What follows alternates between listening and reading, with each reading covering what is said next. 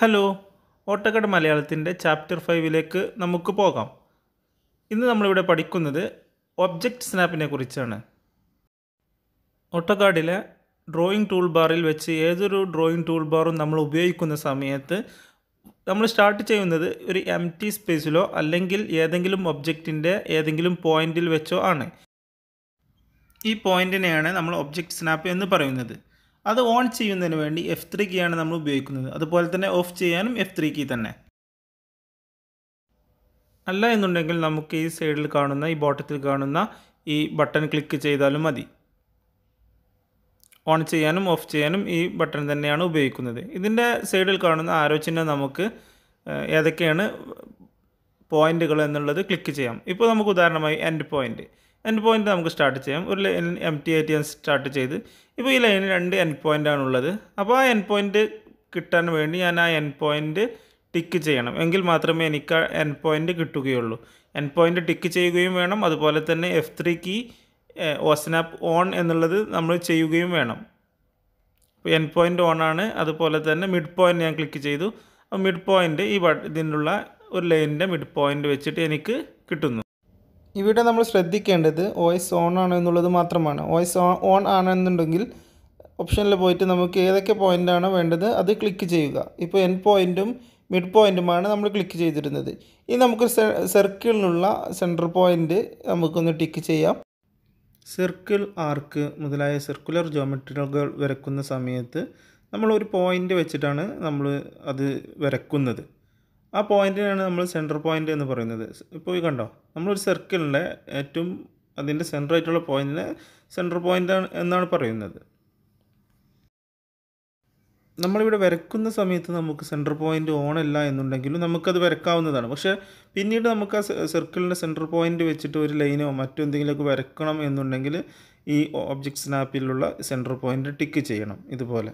എന്നാൽ നമുക്കൊരു ക്രോസ് ചിഹ്നം നമുക്കിവിടെ കാണാൻ കഴിയും. സർക്കിളിന്റെ നമ്മൾ ഏതെങ്കിലും ഒരു ഭാഗത്തേക്ക് ലൈൻ മൂവ് ചെയ്യുന്ന സമയത്ത് ഇതുപോലെ നമുക്ക് കാണാൻ പറ്റും. സ്നാപ്പിംഗ് പോയിന്റാണ് ജോമെട്രിക്കൽ സെന്റർ പോയിന്റ് ഒരു ഒബ്ജക്റ്റിന്റെ അല്ലെങ്കിൽ ക്ലോസ്ഡ് പോളിലൈന്റെ ഏറ്റവും മിഡിലായിട്ടുള്ള ഒരു പോയിന്റാണിത് ഓട്ടോകാർഡ് രണ്ടായിരത്തി പതിനഞ്ച് മുതൽ അല്ലെങ്കിൽ രണ്ടായിരത്തി പതിനാറ് മുതലോ ആണ് ഇത് ഈ ഓപ്ഷൻ അവൈലബിൾ ആയിട്ടുള്ളത്. അതൊരു ന്യൂ അപ്ഡേറ്റഡ് ഫീച്ചേഴ്സാണ് നമുക്ക് നോക്കാം.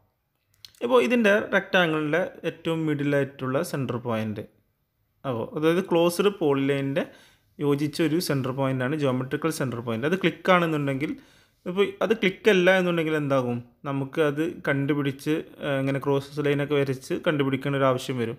അപ്പോൾ ഈ ഒരു ഓപ്ഷൻ ടിക്ക് ചെയ്താൽ നമുക്ക് ഓട്ടോമാറ്റിക് ആ ഒരു സെന്റർ പോയിന്റ് ഇങ്ങനെ ഒരു ക്രോസ് ആയിട്ട് നമുക്ക് കാണാൻ കഴിയുന്നതാണ്.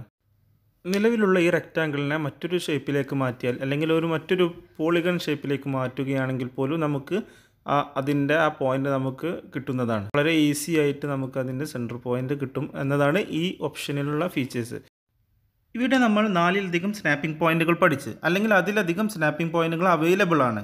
കുറച്ചധികം ഡീറ്റെയിൽ ഡ്രോയിങ് വരയ്ക്കുന്ന സമയത്ത് നമുക്കിതെല്ലാം ടിക്ക് ചെയ്ത് ഉപയോഗിക്കുന്നത് ഉചിതമല്ല.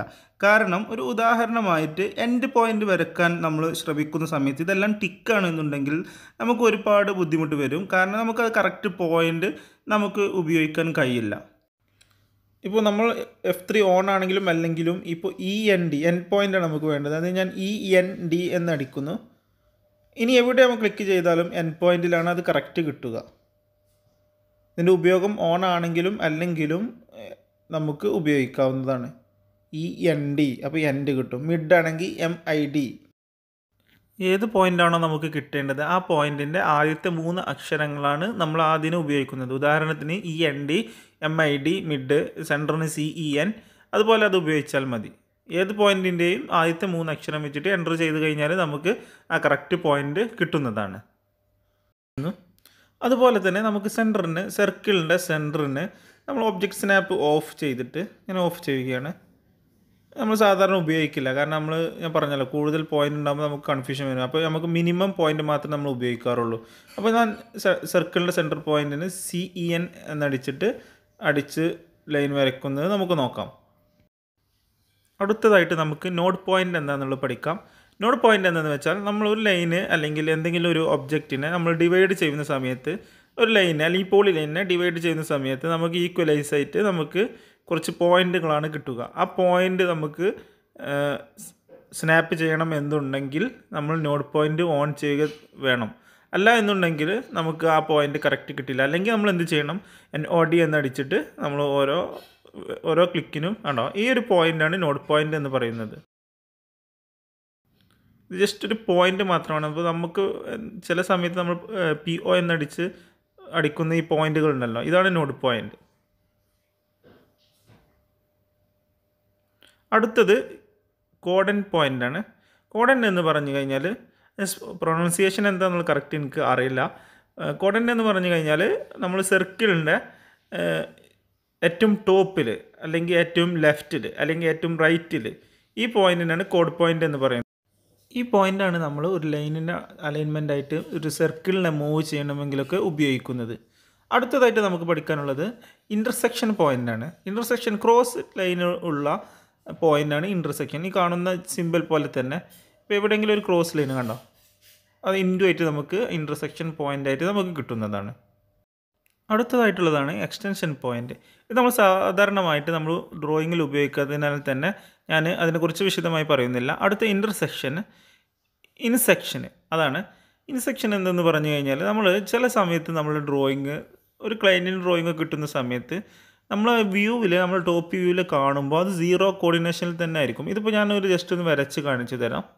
ഇതിപ്പോൾ ഞാൻ ഇതിന്റെ എലിവേഷൻ വ്യൂവിൽ കാണുമ്പോൾ ടോപ്പിലാണുള്ളത് പക്ഷേ നമ്മൾ ഞാൻ പ്ലാനിലേക്ക് പോകുന്ന സമയത്ത് നോക്കാം. നമ്മൾ പ്ലാനിലേക്ക് പോകുന്ന സമയത്ത് അത് നമുക്ക് സാധാ ലൈനായിട്ട് തന്നെ തോന്നുള്ളൂ. പക്ഷേ ഇത് ഈ ലൈനിന് ഒരു പ്രശ്നമുണ്ട്.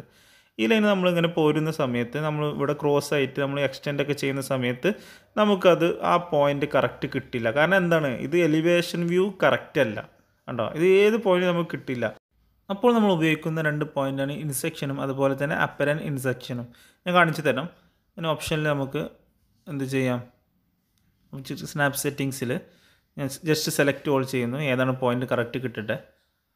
ഈ ഒരു കാണുന്ന ചിഹ്നം സിമ്പിൾ കണ്ടല്ലോ. അപ്പരൻ ഇൻസെക്ഷനാണത്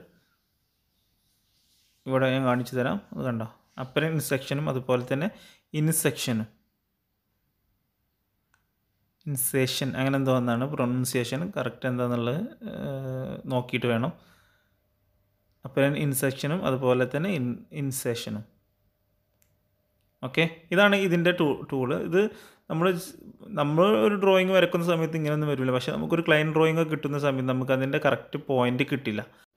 റിയലായിട്ട് വർക്ക് ചെയ്യുന്ന സമയത്ത് നമുക്ക് ഒരുപാട് ബുദ്ധിമുട്ട് ഈ ഒരൊറ്റ കാരണം കൊണ്ട് തന്നെ നമുക്ക് ഉണ്ടാവാറുണ്ട്. ആ സമയത്ത് നമ്മൾ ഇങ്ങനത്തെ പോയിന്റുകളൊക്കെ സ്നാപ്പ് പോയിന്റ് എല്ലാം ഓപ്ഷനും ഓൺ ചെയ്തതിന് ശേഷം ഏത് പോയിന്റാണോ അത് കിട്ടുന്നത് അത് നോക്കിയിട്ട് ആ പോയിന്റ് സെലക്ട് ചെയ്യാറാണ് ചെയ്യാറുള്ളത്. അടുത്തൊരു ഒബ്ജക്റ്റ് സ്നാപ്പിംഗ് പോയിന്റാണ് പെർപെൻഡിക്കുലർ സ്നാപ്പിംഗ് പോയിന്റ് ഇത് നമ്മൾ സാധാരണ നമ്മൾ ഉപയോഗിക്കാറുണ്ട്. നമ്മൾ ഏതൊരു ലൈൻ വരയ്ക്കുന്ന സമയത്ത് നമുക്ക് പെർപെൻഡിക്കുലർ ആയിട്ടാണ് നമ്മൾ ഡ്രോയിങ് ഒക്കെ വരയ്ക്കുന്ന സമയത്ത് വരാറുള്ളത്. അപ്പോൾ ഏത് ഡിഗ്രി ആണെങ്കിലും അതിന്റെ പെർപെൻഡിക്കുലർ ആയിട്ട്. ഇപ്പോൾ ഇതിന്റെ ലൈനിന് പെർപെൻഡിക്കുലർ എന്താണ്? ഞാൻ കാണിച്ചു തരാം. ഞാൻ പെർപെൻഡിക്കുലർ ഓൺ ചെയ്യുന്നു. അപ്പോൾ ഞാൻ ജസ്റ്റ് ഒരു ലൈൻ എടുത്ത് വരക്കുന്നു കണ്ടോ?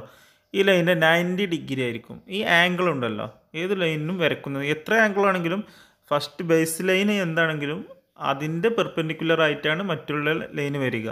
അത് ഏത് സ്ട്രെയിറ്റ് ആണോ അതിന് കറക്റ്റായിട്ട് അത് അതിന്റെ ബേസ് പോയിന്റ് മാറും.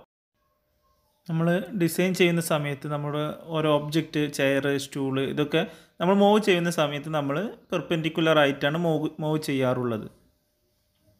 അതുപോലെ തന്നെ അടുത്ത സ്നാപ്പിംഗ് പോയിന്റാണ് ടാൻജന്റ് സ്നാപ്പിംഗ് പോയിന്റ് ടാൻജന്റ് എന്താണെന്നുള്ളത് നമുക്ക് നോക്കാം. അത് സർക്കിളുമായി ബന്ധപ്പെട്ടുള്ളതാണ്. സർക്കിളിന്റെ ടാൻജന്റ് നമ്മളതൊക്കെ പത്താം ക്ലാസ്സിലൊക്കെ പഠിച്ച സംഭവം തന്നെയാണ് അത്. ഒരു ടാഞ്ചന്റായിട്ട് ഒരു ലൈൻ എങ്ങനെ വരയ്ക്കാം? പക്ഷേ അതിന്റെയൊക്കെ മലയാളമായിരുന്നു.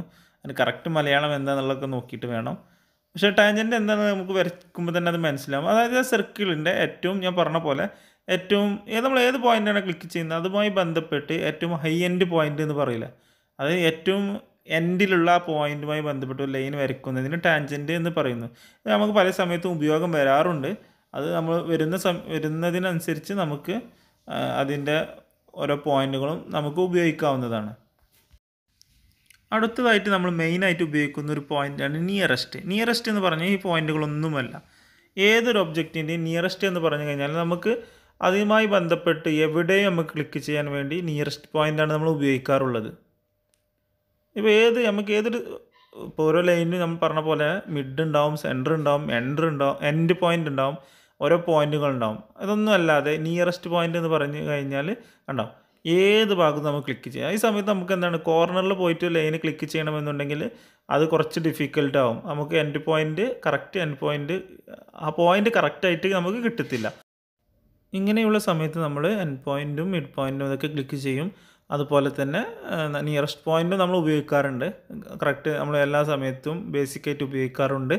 ആ സമയത്ത് നമ്മൾ കറക്റ്റ് എൻ പോയിന്റ് നമുക്ക് കിട്ടണമെന്നുണ്ടെങ്കിൽ നമ്മൾ പറഞ്ഞ പോലെ ആദ്യത്തെ മൂന്ന് സ്പെല്ലിങ് ഇ എൻ ഡി എന്നടിച്ചിട്ട് ആ പോയിന്റ് മാത്രം നമ്മൾ എന്റർ അടിച്ചിട്ട് നമ്മൾ ലൈൻ ക്ലിക്ക് ചെയ്യാറാണ് ചെയ്യുന്നത്. ഇവിടെ നിയറസ്റ്റ് പോയിന്റ് നമ്മൾ ടിക്ക് ഓഫ് ചെയ്തതിന് ശേഷം നമുക്കൊന്ന് ട്രൈ ചെയ്ത് നോക്കാം. കണ്ടോ? ഇത് നമുക്കൊരു പോയിന്റ് കറക്റ്റ് കിട്ടു കിട്ടുന്നില്ല. ഒന്നെങ്കിൽ എൻ പോയിന്റിലേക്കോ അല്ലെങ്കിൽ മിഡ് പോയിന്റിലേക്കോ ഏതാണോ അതിന്റെ അടുത്തയിലേക്ക് അത് ഓട്ടോമാറ്റിക്കായിട്ട് സ്നാപ്പ് ചെയ്യുകയാണ് ചെയ്യുന്നത്. അതിനാൽ തന്നെ നമ്മൾ എന്ത് ചെയ്യും? എൻ ഇ എ എന്നടിച്ചിട്ട് നമുക്ക് ലൈൻ വരക്കാവുന്നതാണ്. അടുത്ത നമ്മൾ പറഞ്ഞ പോലെ ഒരു പോയിന്റാണ് നമ്മൾ ബേസിക്കായിട്ട് നമ്മൾ ഉപയോഗിക്കാറില്ല. അതിനാൽ തന്നെ ഞാൻ അതിനെക്കുറിച്ച് കൂടുതലൊന്നും വിശദീകരിക്കുന്നില്ല. ഒബ്ജക്റ്റ് പാരലായിട്ട് വരയ്ക്കുന്നതിന് വേണ്ടി ഉള്ളൊരു പോയിന്റാണ് പാരലൽ സ്നാപ്പിംഗ് പോയിന്റ് ഇപ്പോൾ നമ്മൾ സ്നാപ്പിംഗ് പോയിന്റുകളോ ഓരോ പോയിന്റിനെ കുറിച്ച് നമ്മൾ പഠിച്ചു കഴിഞ്ഞ് ഇനി നമുക്ക് അതിന്റെ സെറ്റിങ്സും ഒരു ഒരു ഷോർട്ട് വ്യൂ എന്താണെന്നുള്ളത് നമുക്ക് നോക്കാം. ഒബ്ജക്റ്റ് സ്നാപ്പ് ഓൺ ചെയ്യുന്നതിന് വേണ്ടി നമ്മൾ മുന്നേ പറഞ്ഞ പോലെ എഫ് ത്രീ കീ ആണ് നമ്മൾ സാധാരണ ഉപയോഗിക്കുന്നത്. ഓഫ് ചെയ്യാനും ഓൺ ചെയ്യാനും സെയിം കീ തന്നെയാണ്. അതല്ല എന്നുണ്ടെങ്കിൽ നമുക്ക് ഒ എസ് മോഡ് എന്റർ അടിച്ചതിന് ശേഷം ഓൺ ചെയ്യാവുന്നതും ആണ്.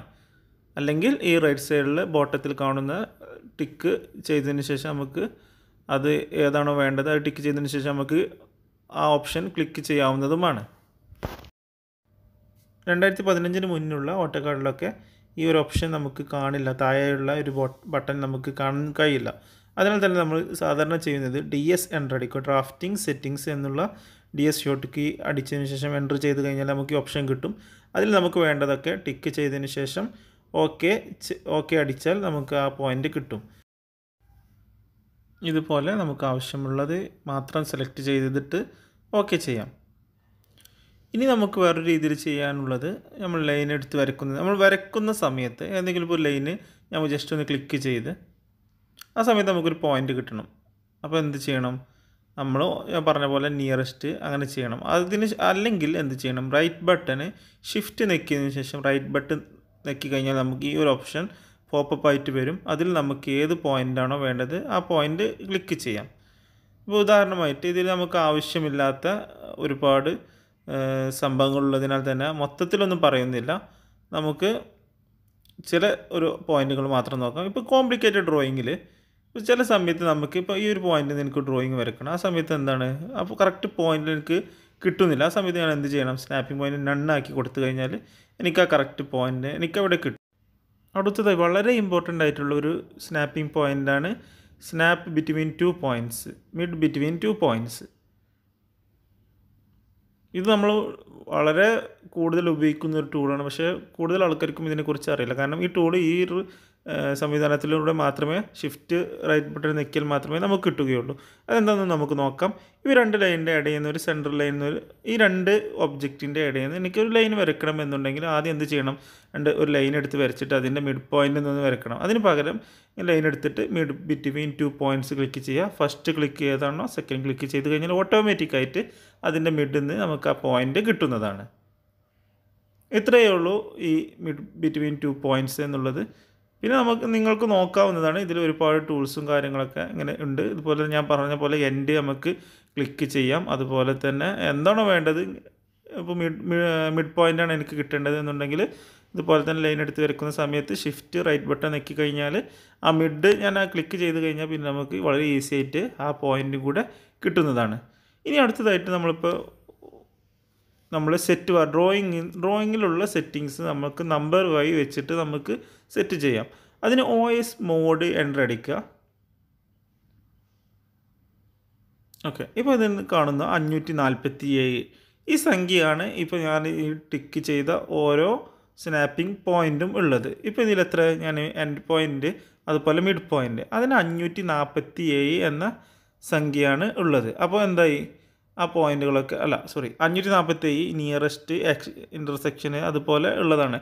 അതെന്താണെന്ന് നമുക്ക് വേണ്ട ടിക്ക് ചെയ്യുക. അതുപോലെ തന്നെ ആ വോയിസ് മോഡ് അടിച്ചു കഴിഞ്ഞാൽ അതിൽ നമുക്ക് പോപ്പപ്പ് ആയിട്ട് മെസ്സേജ് കാണും. അപ്പോൾ ആ നമ്പർ എടുത്ത് നമ്മൾ സേവ് ചെയ്ത് നമുക്ക് മെമ്മറിയിൽ വെച്ച് കഴിഞ്ഞാൽ നമുക്ക് ഏത് സമയത്ത് ഏതൊക്കെ പോയിന്റാണോ വേണ്ടത് അതുപോലെ തന്നെ നമുക്ക് മാറ്റാവുന്നതാണ്. ഇത്രയേ ഉള്ളൂ സ്നാപ്പിംഗ് പോയിന്റിനെ കുറിച്ച് പഠിക്കാനുള്ളത്. അടുത്ത് നമുക്ക് പാഠം സിക്സിലൂടെ കാണാം.